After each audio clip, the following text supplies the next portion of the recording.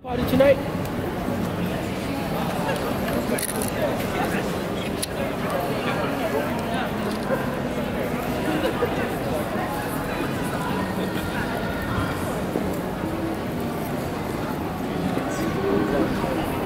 Nous sommes sur la place centrale de Prague.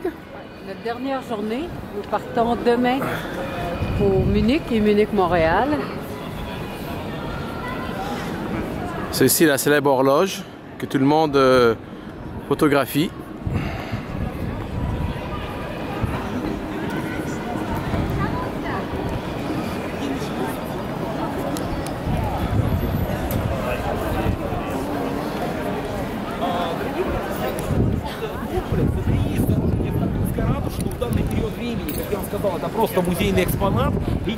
Lui, c'est un russe.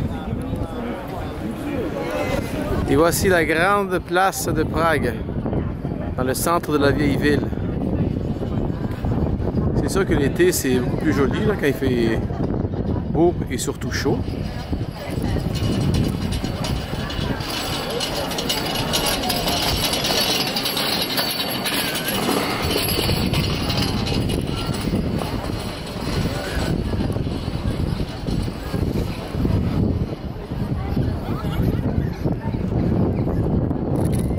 Coupolaï. J'ai manqué la marche. Là-bas, c'est la rue des grands magasins. Cartier, Chanel et compagnie. Ici, c'est la statue euh, du Père de la Libération. La cathédrale de Prague.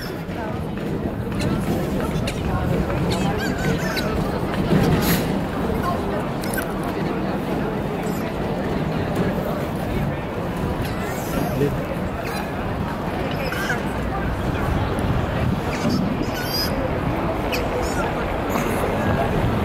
бы туман,